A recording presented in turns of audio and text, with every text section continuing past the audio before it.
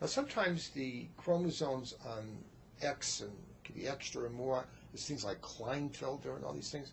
Uh, discuss that a little bit about the sex genes sometimes have too many things or So, you know, we we actually have a group of chromosome abnormalities called the sex chromosome abnormalities. So that consists of really either an extra X chromosome, which could be in a girl, in which case it's XXX, Which or is in a boy, which is called trisomy X.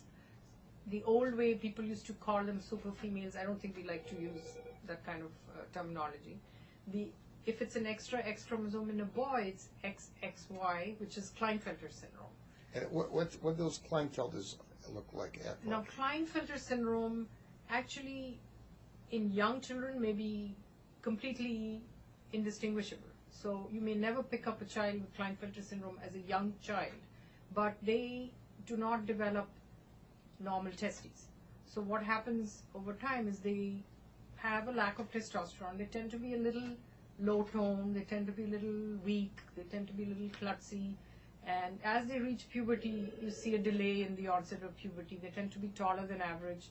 Uh, they can have sometimes some breast Mentally, are development. they normal? Or, They they have IQs in the normal range, but they can have learning problems. And we say generally that their IQ is probably maybe 10, 20 points lower than that of their siblings.